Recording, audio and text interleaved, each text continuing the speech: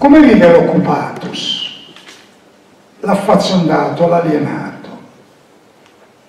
L'occupatus non ha né tempo né voglia di ricordare il passato, lo dimentica.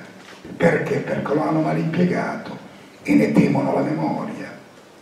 L'occupatus ha un rapporto malsano col tempo.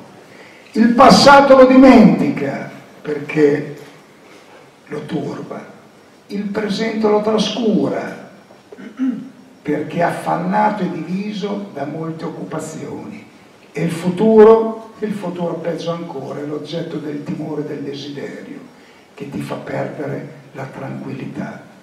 L'occupatus non vive, sta al mondo.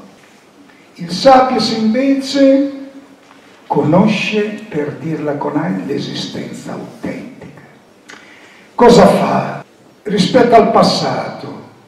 È passato il tempo transit, lui lo blocca col ricordo.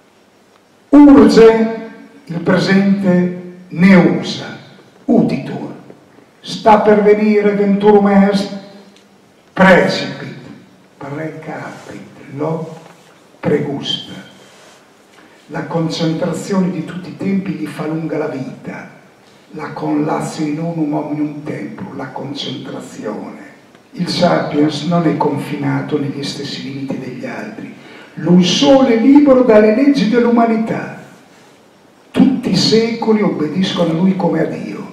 Sapiens solus generis umani legibus solvitur, lui è sciolto, è solutus legibus. Il tempus è la res preziosissima, la cosa più presente solamente il tempo nostro. Noi abbiamo un unico possesso, un'unica ricchezza, un unico capitale che è il tempo. Tempus tantum, tantum, è vero, solamente il tempo nostro è nostro.